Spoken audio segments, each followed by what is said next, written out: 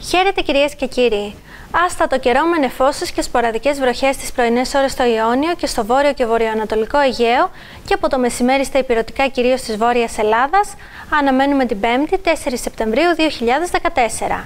Η θερμοκρασία θα κυμανθεί από 18 έως 31 βαθμούς στα ανατολικά υπηρετικά, 13 έως 30 στη Βόρεια Ελλάδα, 16 έως 30 στη Δυτική Ελλάδα, 19 έως 30 στο Βόρειο Αιγαίο και από 20 έως 30 βαθμούς στο Κεντρικό Αιγαίο, την Κρήτη και τα Δωδεκάνησα.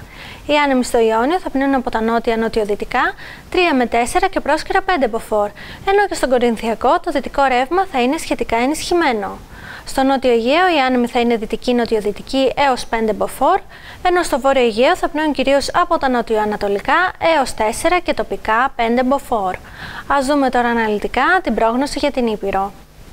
Στα Ιωάννινα για αύριο Πέμπτη αναμένουμε αρχικά έθριο καιρό, με λίγες νεφώσεις μετά το μεσημέρι, ενώ το απόγευμα ενδέχεται να σημειωθεί ασθενής βροχόπτωση.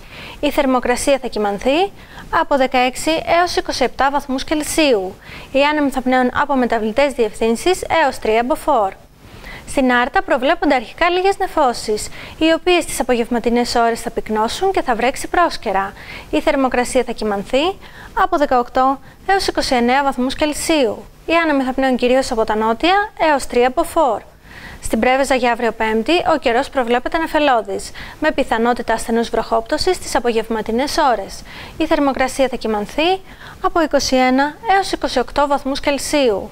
Οι άνεμοι θα πνέουν από νότιες διευθύνσεις με ένταση από 1 έως 4 μποφόρ. Στην Ιγουμενίτσα θα επικρατούν σποραδικές νεφώσεις, με πιθανότητα πρόσκαιρης ασθενούς βροχόπτωσης το απόγευμα.